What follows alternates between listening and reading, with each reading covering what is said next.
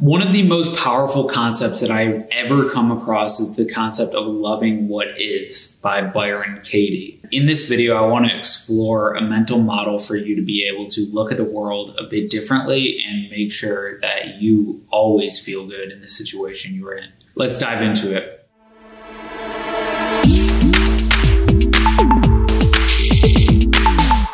So, one of the things that I've been playing with, well, recently listening to the audiobook Loving What Is, is the fact that literally everything is the way it is. And the more that we try to think of it differently or want something to be a different way than it is, that is what causes discomfort and pain and these negative emotional spirals that we get put on. Maybe that's depression, maybe that's bipolar, maybe that is just us being sad that something isn't happening to us today that we wish was happening. The reality is we need to come back into who we are. What are we? What is going on around us? And what we do is we start by realizing that what is is there's not a difference between what is and what is happening. What is happening is what is. And I know this might be a little bit of an esoteric concept, but start to understand that if you only have half of one leg and you're mad because it should be a full leg, it shouldn't be a full leg. It should be half of one leg because that is what is. If someone dies early, in your opinion, they didn't. They lived a full life no matter when they died. The problem is that you believe that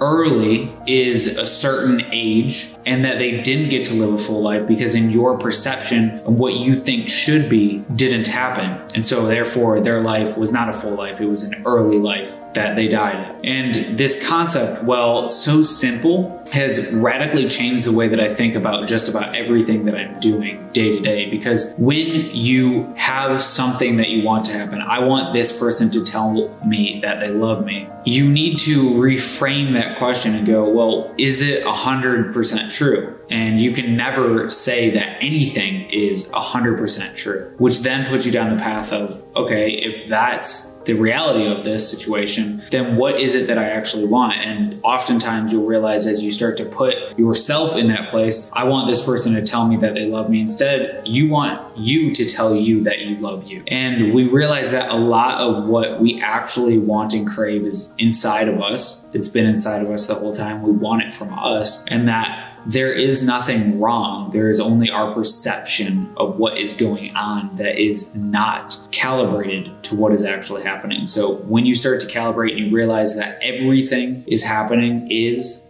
and it's all good and it's all beautiful, you become in an, you start to live in a situation that you would always want to live in because that is what is. So thank you for listening to this video. I hope this cleared up a bit of the, uh, the chaos in the mind that we can all have. And I look forward to seeing you in a video soon.